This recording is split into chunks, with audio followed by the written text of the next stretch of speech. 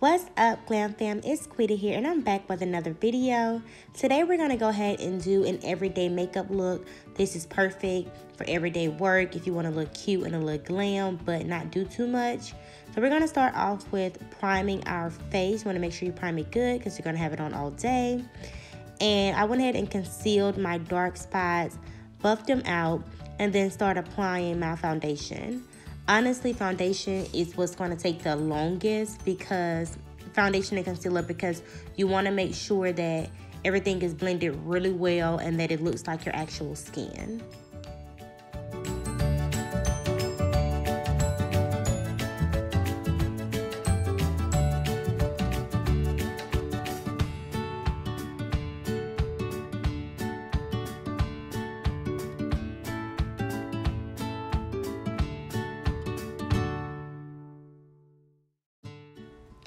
Next, we're going to go ahead and start by applying our concealer. I personally like for my concealer to get like a little thickened before I started blending it out. So with it being an everyday makeup look, like you have to use your time wisely. You can't just be sitting there playing on your phone. So while that's sitting, go ahead and start your eye look. You know, do something really simple, something that's not going to cause a lot of attention, but something that's not going to, you know, have your eyes looking all creased from where you, you know, applied your foundation earlier.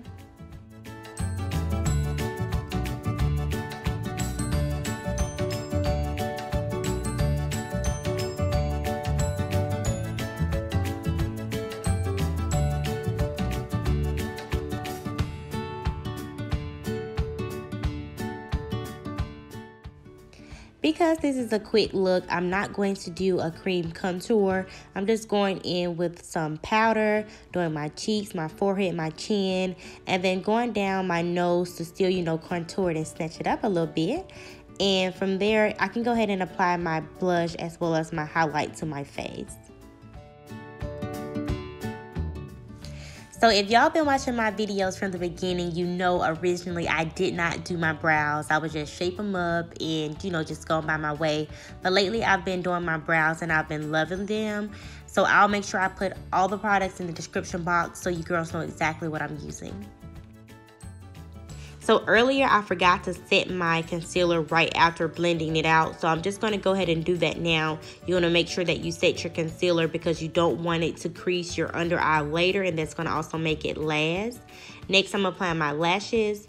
You have to use your time wisely, y'all, with everyday makeup. So while my second lash is drying, I'm going to go ahead and put my mascara on, put my la other lash on, and now we're almost finished. Like, all I have to do is go ahead and line my lips and put on my Fenty Balm Gloss. And that's it, y'all. So thank y'all so much for tuning in. Go ahead and like, comment, and subscribe. I'll see y'all next time. Bye.